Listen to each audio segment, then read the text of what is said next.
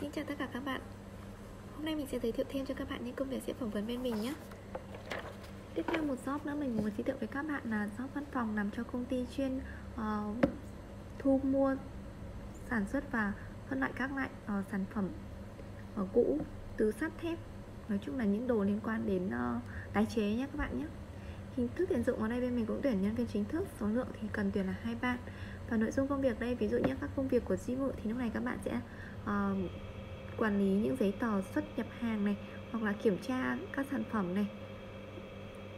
Um, công việc liên quan đến văn phòng thế nên là uh, công ty hoan nghênh những bạn mà có tiếng Nhật cao cao một chút và những hoan và ưu tiên cả những bạn mà có bằng lái xe nhé địa điểm làm việc ở đây thì các bạn sẽ làm việc ở Saitama.